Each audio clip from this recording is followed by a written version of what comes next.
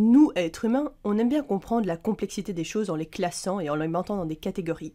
Et tu peux imaginer qu'il n'y a rien de plus évident à classer que tous les êtres vivants autour de nous, toute la vie autour de nous.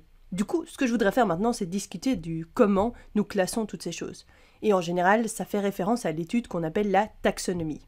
Mais de façon plus basique, quand on observe tout ce qui se trouve autour de nous, on peut observer des similitudes entre les êtres vivants. On peut voir très clairement que ce truc-ci va être beaucoup plus proche que ce truc-là, ça se ressemble beaucoup plus que ça ne ressemble à l'herbe qu'on voit ici ou bien un arbre. Et donc, quand on commence à classer, on se dit, ben, peut-être qu'on devrait mettre du coup toutes ces choses dans le même groupe. Et notre première façon de classer toutes les choses vivantes autour de nous, c'est de les mettre dans des catégories qu'on va appeler les espèces. Les espèces. Donc, par exemple, ça, c'est un type d'animal et on va mettre tous les animaux qui lui ressemblent complètement dans une même catégorie. Ce sera la catégorie des lions. Et cet animal-ci, ben, on peut avoir d'autres animaux avec des rayures, des animaux plus gros, plus grands, plus fins, plus petits, plus clairs, plus foncés, n'importe quoi d'autre. Mais s'ils sont suffisamment semblables, on va dire que ce sont des tigres. De même, ici, tous les animaux qui se ressemblent et qui sont un peu plus maigres, un peu plus gros, un peu plus grands, un peu plus foncés, on va tous les mettre dans la catégorie des ânes. Et ceux qui ressemblent à ceux-ci, on les appellera des chevaux. Alors, ceci te paraît peut-être une façon assez évidente et directe de classer tout ça.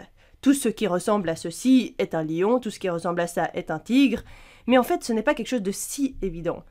Et ce n'est pas vraiment suffisant pour faire une bonne définition du concept d'espèce.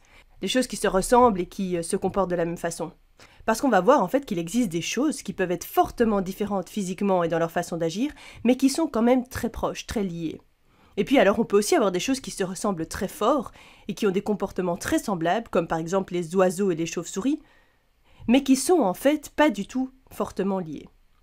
Donc nous avons besoin d'une meilleure définition pour le terme d'espèce que juste dire que ce sont des êtres qui se ressemblent et qui se comportent de façon similaire. Et la définition type, c'est des organismes qui peuvent se reproduire, qui peuvent s'accoupler, et dont la progéniture est fertile. Donc la progéniture, elle aussi, peut avoir des bébés. Elle n'est pas stérile. Elle peut s'accoupler de sorte à avoir une nouvelle progéniture.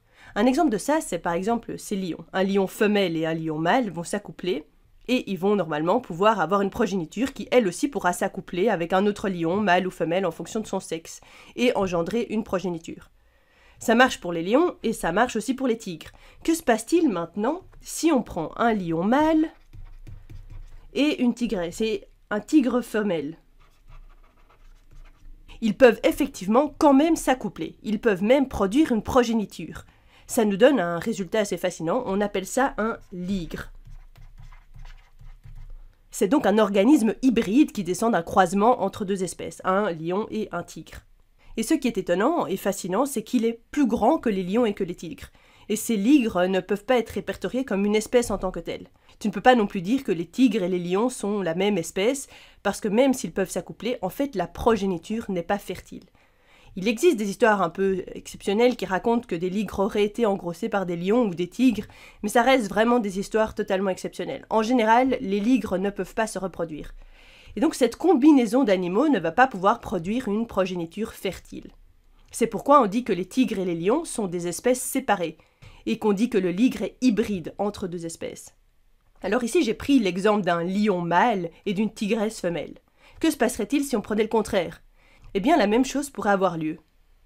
Dans ce cas, on aurait un résultat un peu différent et l'être vivant qui va être engendré s'appellera le tigron donc un hybride qui va avoir des caractéristiques différentes de celles du ligre. De la même façon, si on prend maintenant un mâle, un âne mâle, et une jument, donc un cheval femelle, ils peuvent s'accoupler et ils vont engendrer une mule. Ils vont engendrer une mule. Mais une fois de plus, les mules, tout comme les ligres, ne sont pas fertiles, elles ne peuvent pas engendrer de nouvelles progénitures. Et même si les ânes et les chevaux peuvent s'accoupler et produire une progéniture, elle n'est pas fertile. On ne les considère pas faire partie de la même espèce, et on va considérer que les mules, tout comme les ligres et les tigrons, sont des hybrides. Le terme hybride est souvent utilisé pour parler de deux choses différentes, deux types différents, qui vont se mettre ensemble, qui vont se combiner. Une fois de plus, tout comme le tigron, qu'en serait-il si on avait cette fois une ânesse qui s'accouple avec un étalon? Eh bien, on obtiendrait un bardeau.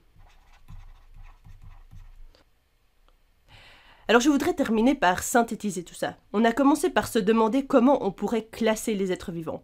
On s'est dit que c'était peut-être les choses qui se ressemblent et qui se comportent de façon similaire qu'on pourrait appeler espèces. Et que ceux qui ne se ressemblent pas ou n'agissent pas de la même façon, on ne devrait pas les appeler espèces. Mais je voudrais te montrer un cas très typique qui ne fonctionne pas du tout avec ces définitions, mais qui fonctionne bien avec la définition qu'on a donnée ici. Les animaux qui peuvent s'accoupler et dont la progéniture est fertile. Eh bien, le meilleur exemple pour ça, ce sont les chiens. Les chiens. C'est une espèce qu'on connaît bien. Là, je t'ai mis toutes sortes d'exemples de chiens, et les chiens peuvent parfois très fort se ressembler, parfois pas du tout. C'est assez évident, regarde juste là. On peut voir ce chihuahua et cet autre chien.